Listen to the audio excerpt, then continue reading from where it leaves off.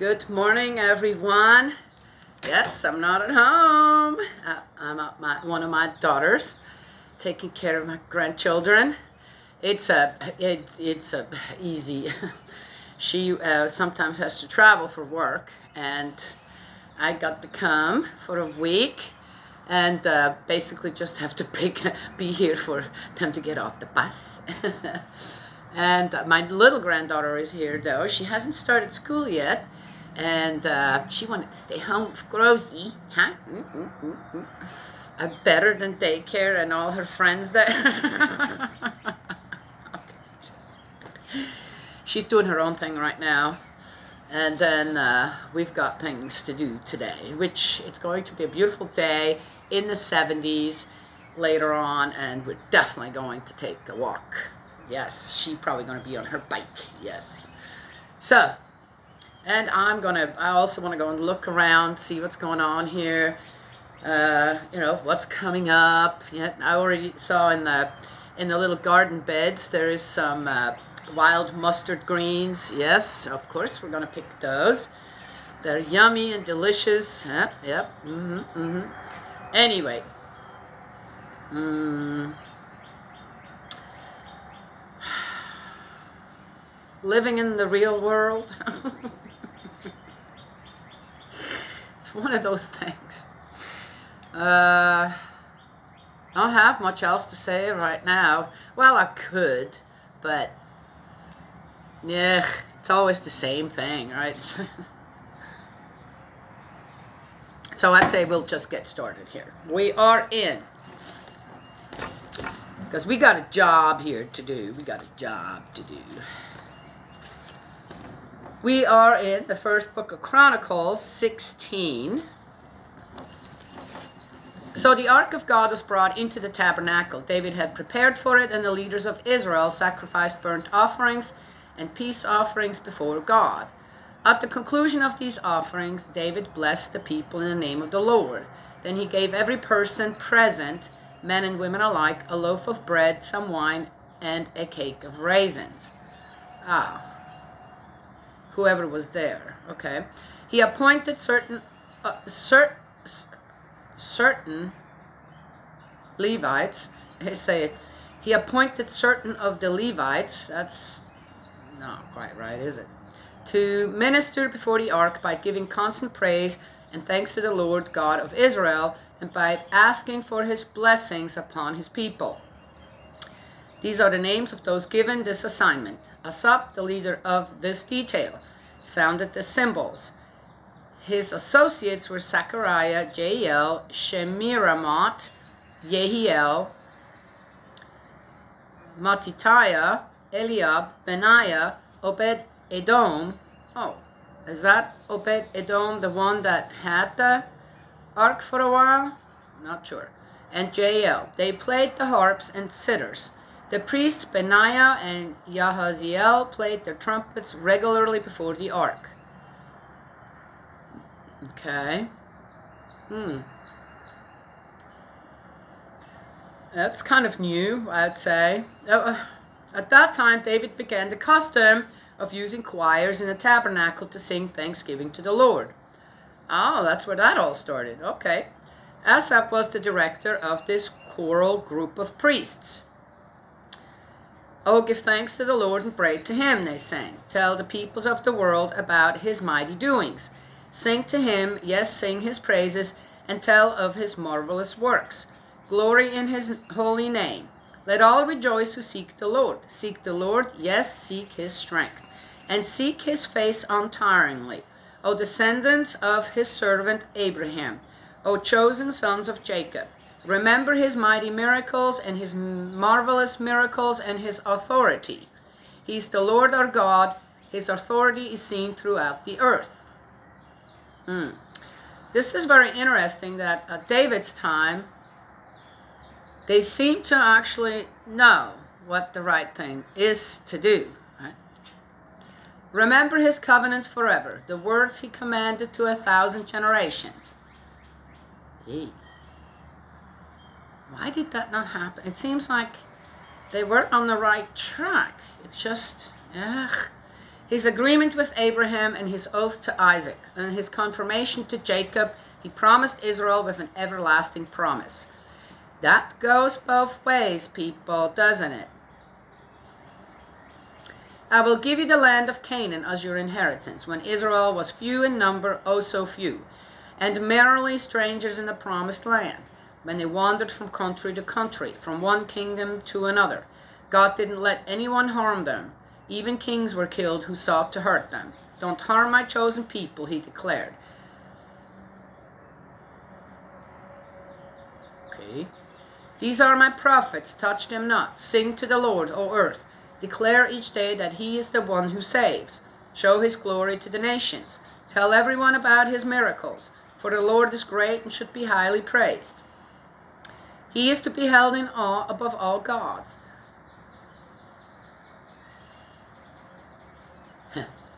this, okay, he is to be held in awe above all gods. There aren't any other gods that are real except for the one, right? Yes? All right. And I think that's kind of a little bit part of the problem. Even today, yes, people get into all kinds of different things. Besides just, oh, put your trust where it belongs, right? Get the guidance where you should get it. Right? Yes?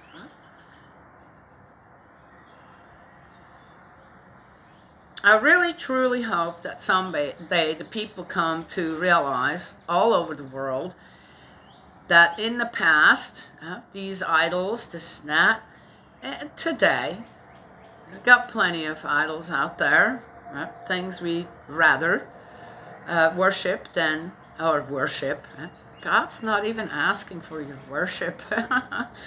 Just a relationship, right? Yes.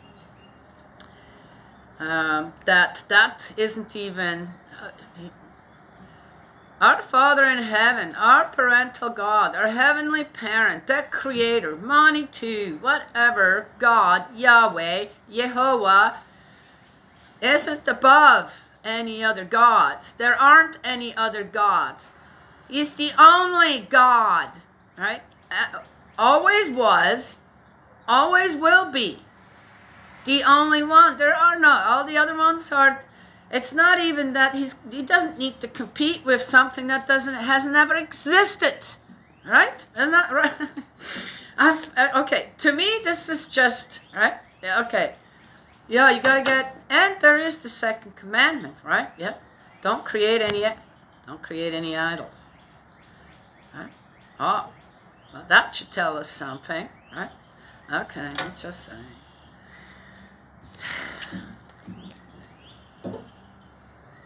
It's not about laying all them other gods down or whatever you worship that seems to take precedence over our parental God, the one, that creator. It's it's a uh, it's not about laying them down. Acknowledge they never existed. They don't exist. It's not there. Okay? figments of our imagination, figments from the past. And there probably will still be figments in the future. I don't know. I hope not. Just saying. the other so-called gods are demons. No, they're not. They don't exist. They can't be either one. They can't be gods. They can't be demons. They're nothing. It's nothing. It's absolutely nothing. That's what that is. But the Lord made the heavens. Majesty and honor march before him. Strength and gladness walk beside him. There you go. O people of all nations of the earth, ascribe great strength and glory to his name. Yes, ascribe to the Lord the glory due his name. Bring an offering and come before him. Bring an offering and come before him. Mm.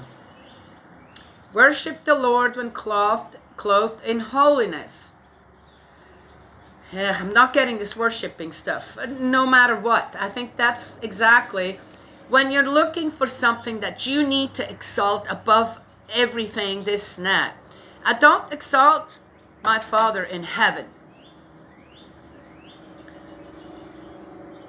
I learn. I'm guided. I want to be as good in a way. I've said this before, you know. Um, there's this one song where, you know, uh, it says, "Oh, carry me on your shoulders." You know, I'm, I'm safe when I'm on your shoulders. I'm going, no, I don't. I don't want to be a burden. Okay, one can be a burden for a while when you're learning, trying to get all your ducks in a row. This now, okay, but eventually you want to walk next to God, next to Jesus, right? In a way. And have that beautiful, wonderful give and take relationship where you're preparing for what? The afterlife. For eternity. Yes? It's a bit odd on how we're we're, it, we're being taught to kind of be under the yoke, worship, kneel down. Okay, I, I mean, I get it, but just say, in front of God. But you're fighting it. As human beings, we've fought that kind of stuff. Slavery, being under the yoke of someone else, rather than be the free spirits we, we are designed to be, if it's on the side of goodness. Free will, freedom to choose. Again, on the side of goodness, okay? Well, give me that other stuff. Well, anyway, so uh, I feel anytime I'm being told that I have to fear something if I'm not doing this or that on the side of good, or uh, when it comes to uh, belief, you know, um, on how that is structured in a way, not as God would structure it to guide us in the right direction, rather on uh, uh, how I have to buy my way into heaven, lie my way into heaven kind of stuff, okay? Fear my way into heaven. Uh, that's when you worship things. Start to worship stuff. Follow trends. You know what? And uh, that, that's not the God I know. That's nothing points to any of that. And if if you're willing to worship one thing or another, regardless on what it is, even if you start out with God, oftentimes that worship leads to what? Worshipping other things. Yes. So worshiping, don't worship anything. Establish a relationship of proper give and take on the side of goodness. Right? Yes? Well, anyway, I don't know if I make sense to people. I make sense to myself. tremble before him all the earth. Uh, why would I have to tremble in front of a good, loving parent?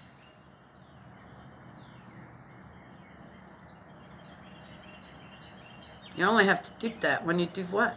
Oh, okay your conscience goes, ah, did something wrong. Now I'm going to have to go and fix that. Hey, then you should tremble. The world stands unmoved. Let the heavens be glad, the earth rejoice. Let all the nations say, It is the Lord who reigns. Let the vast seas roar. Okay, this was during the time where they already had kings that a king that didn't work out. Now they got another king. Yet let all the nations say, It is the Lord who reigns. Yet, who reigns, actually? Well, that's just a physical. No, mm -mm, mm we know God did not want that.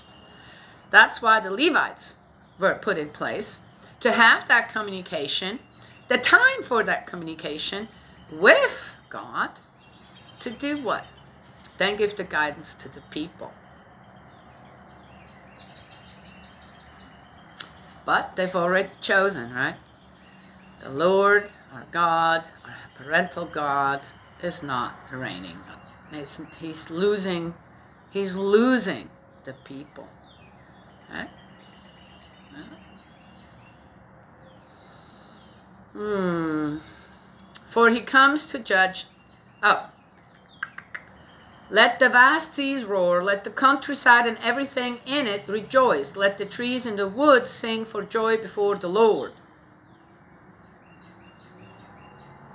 That's a weird one. For he comes to judge the earth. Oh. That's like a fallible whole thing here. Let the countryside and everything in it rejoice. Let the trees and the wood sing for joy before the Lord, for he comes to judge the earth. Okay. Oh, give thanks to the Lord, for he is good. His love and his kindness go on forever, yet he comes to judge the world. Okay. Or the earth. All right. Man, were they confused. They didn't. Well, somebody. It's a song. It's some kind of a praise song. Cry out to him, O save us, God of our salvation. Bring us safely back from among the nations. Then we will thank your holy name. Oh, but not before that. No, no, no, no, no. Mm -mm. Yeah, yeah, there's a condition. See, we make condition. They make conditions for God. Okay, it's in. It's in here. Just say. Bring us safely back from among the nations. Then we will thank your holy name and triumph in your praise. Blessed be Jehovah, God of Israel, forever and evermore. And all the people shouted, Amen, and praised the Lord. David arranged for Asaph and his fellow Levites to minister regularly at the tabernacle, doing each day whatever needed to be done. This group included Obed Edom, the son of Jeduthun, Hosah, and 68 of their colleagues as guards. Guards? Guards for what? Meanwhile, the old tabernacle of the Lord on the hill of Gibeon continued to be active. There's two of them? Oh, David left Zadok, the priest, and his fellow priests to minister to the Lord there. Oh, they sacrificed burnt offerings to the Lord each morning and evening upon the altar set aside for that purpose, just as the Lord had commanded Israel. Is that how the high places started somehow? They had two of them. David also appointed Heman, Jeduthun, and several others who were chosen by name to give thanks to the Lord for his constant love and mercy. They used their trumpets and cymbals to accompany the singers with loud praises to God, and Jeduthun's sons were appointed as guards. I'm not getting the guards thing. At last the celebration ended and the people returned to their homes. And David returned to bless his own household. Okay, that's 16. That's an odd one.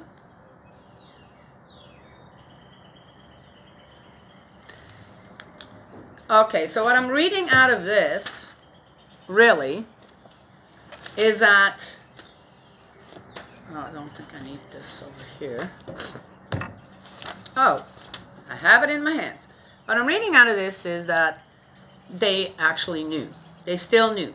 That David, when David was king, or just became king, as it sounds like, and then moved to the ark, okay, they still knew what uh, their ancestors were given by God on how to lead the people and how he was their guiding star.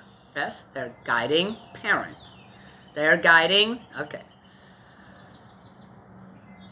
It seems like they did not.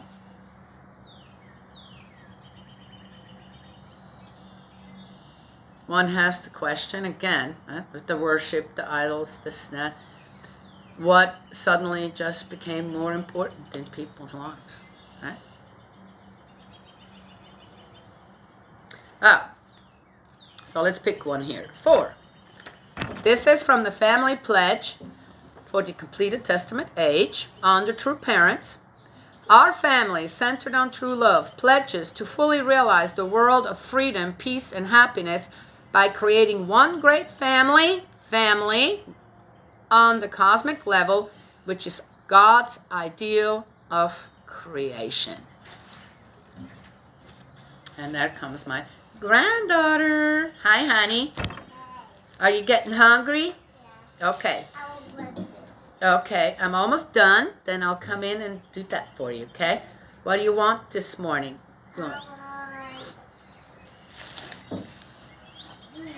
Hmm. We have eggs. I can make scrambled eggs.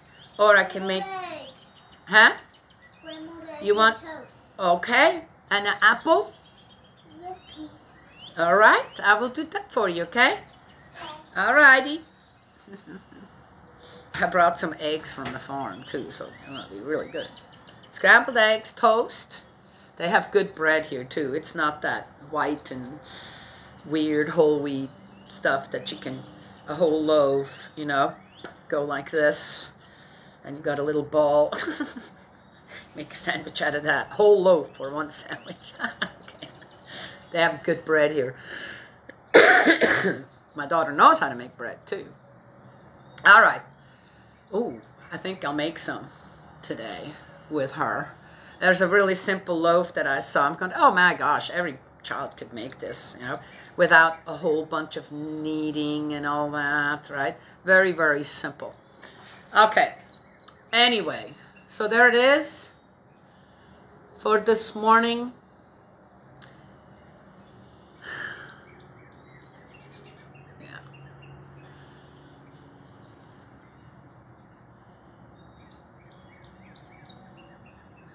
If everyone were to concentrate on their own families, right? Yes, just as it says in the pledge there, in the, no, no, in that one little section, we would have enough to do all of our life, all of our life, even as children, right?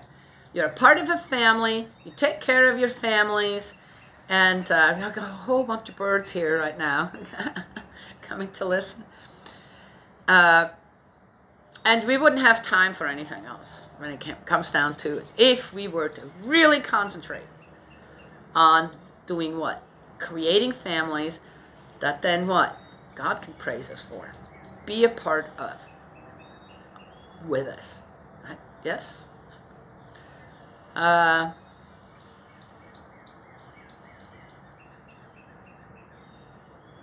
oh, now there's all kinds of other things come to my mind. I'm not going to do that because I have a hungry child in there. Yes. And I'm only going to fix her. As you can tell, she's a little one. I'm only going to fix her as much as I know she will actually eat. No leftovers. Okay, I could eat the leftovers, right? Yes? Waste not, want not. And when you don't waste food, you also so, shows also show some respect towards the people out in the world who are actually hungry. Actually still hungry people in this world.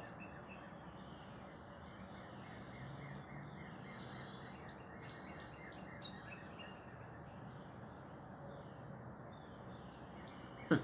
Okay, that's all I have to share this morning. God's love and blessings always. May He protect you, and I will talk to y'all another time.